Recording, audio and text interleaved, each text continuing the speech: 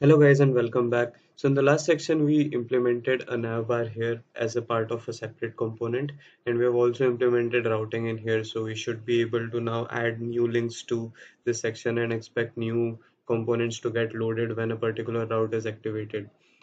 Now in the in the section that we have here uh, these are all the different types of uh, configurations that can be done to your navbar you can use certain color schemes like so. And uh, that was it regarding the navbar now I'm gonna go and have a look at the buttons. So let's first quickly create a component for our buttons so that we are able to load them up. And while this gets created let's also update the app module. So when the buttons route is reached then I need to load up the buttons component like so. And uh, inside the header component let's just quickly get rid of a few things that we don't really need. So we have a drop down here and uh, I don't really need that drop down right now so I'll just comment this out and I also don't really need this search form here so I'll do the same for it. Now home pricing and all are there but I don't need these uh, right here. So I'll just comment these out. And for home I need to go to the let me just zoom out a little bit and for this one I need the router link to take me to home. While if I'm on the buttons route then it should let's indent this a bit as well. And if I'm on the buttons route if I click on the buttons uh, navbar um, link then I should be taken to the buttons section like so. Alright so uh, we aren't on the current here so I should be able to get rid of this span like so. Right let's save this now and go back. So I should have home and buttons here.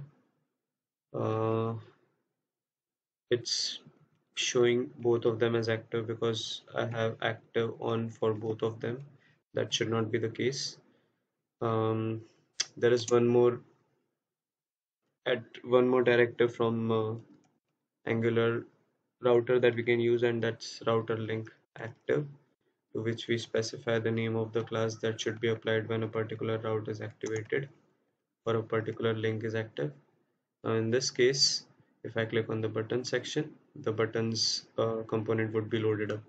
So now I can essentially uh, start working on the buttons component. So I'll close all of these and I'll go to the buttons components template. I'll get rid of this and I'll just go to the buttons section that we have here. And these are all the button types that angular uh, material design bootstrap provides us with. So I'll just copy all the markup that we have here for the buttons. And I'll go back here and paste it like so. And if I go back to the application then I should see all the buttons um, getting highlighted over here and the buttons uh, navbar as well um, opening up. Apart from that there are some other uh, configurations that can be done to your buttons. So these are all the additional buttons there are. Uh, let's just copy in these as well like so. Let's copy that. And uh, go back and paste it like so. I'll just name these additional buttons in an h3 tag. And I'll paste it like that. Save. Go back to the application. And these are all the additional buttons there are.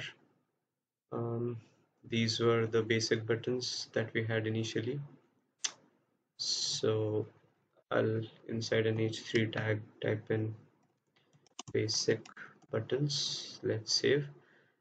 Apart from that we also have um, these gradient buttons right here but it comes as a part of the material design bootstraps pro component package. Uh, so we might have to um, pay for that but that's something that we are not going to do right now even if that is the case I should be able to use them but then it won't be uh, having the same styling as that of the buttons that we see here. I'll add a gradient buttons section as well but if I paste these buttons here then I won't be able to see the same styling. These would be the same um, default styles that were applied to them and apart from that I have these outline buttons as well that can be used. So let's copy the markup for that as well. H3 outline buttons. Let's paste and save and go back. So we now see the outline buttons as well. And then we have some other round buttons as well but these also come as a part of the material design bootstraps pro package same is the case with these and same is the case with these floating buttons as well. So even if I copy the markup for these floating buttons I essentially won't be able to see them. Let's see that in action.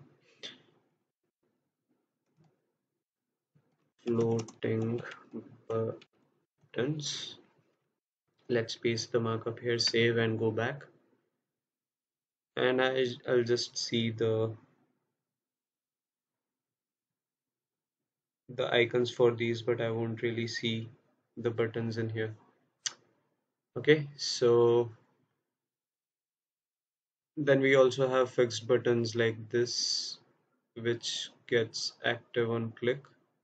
I'm not really sure why this is not working right now but this is something that gets active on hover. Uh, but again these come as a part of the pro package the back to top button is also there uh, and we can essentially use this documentation here to make that work. Then we have flat buttons like so but again that comes as a part of the pro package here. We have buttons with icons so let's try that in action. I'll go down here and add an h3 again. Buttons with icons and I'll paste the markup for the buttons with icons section here and I should see the buttons here with icons as well. And uh, then we have buttons with tags and we have buttons with different sizes that can be used buttons with different levels. And essentially a lot of things can be there that can be used. It's all customizable but we won't really be able to use the uh, the buttons that come as a part of the pro package. But apart from that there are quite a lot of uh, buttons. There are uh, and different stylings that can be used and applied. And then there are different states that can be uh, applied to a button. And then we also have uh, buttons in the form of checkboxes and radio buttons that can be used.